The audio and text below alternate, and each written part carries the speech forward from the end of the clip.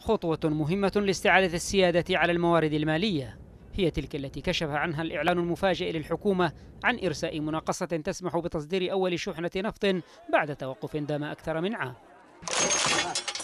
خطوة الحكومة هذه أنجزت وسط تحديات هائلة تشبه من حيث مصدرها تلك التي تعترض تقدم الجيش الوطني والمقاومة نحو استعادة العاصمة ومعها مؤسسات الدولة رغم توفر كل الإمكانيات اللازمة لهذا التقدم.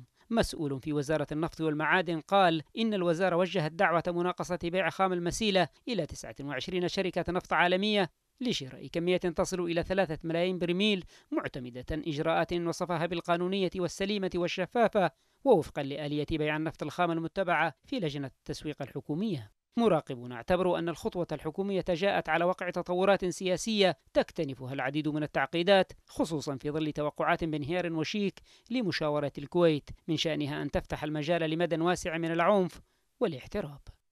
لا تبدو خطوة الاستئناف الوشيك لتصدير النفط معزولة عن خطة الحكومة لاستعادة المبادرة الاقتصادية إثر هدنة مراوغة للبنك المركزي فرضتها المؤسسات المالية والعواصم الدولية النافذة على الحكومة والتحالف. فقد سبق هذه الخطوة. قرار اتخذته حكومة رئيس الوزراء أحمد بن دغر إثر عودتها إلى عدن. قضى بفتح حساب مستقل للحكومة يسمح بتحصيل الموارد من المحافظات المحررة وتلقي عوائد تصدير النفط والغاز.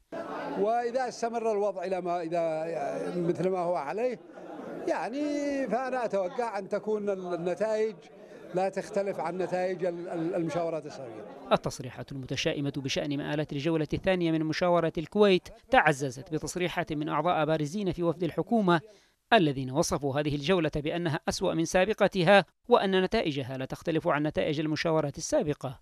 من بين خطوات قليلة محسوبة للحكومة تبدو خطوة استئناف أهم موردين اقتصاديين في البلاد النفط والغاز هي الأهم. على طريق استعادة الحكومة لنفوذها وسط هذا القدر من التعنت الذي يظهره الانقلابيون في وجه الجهود المبذولة لاستعادة السلام في البلاد.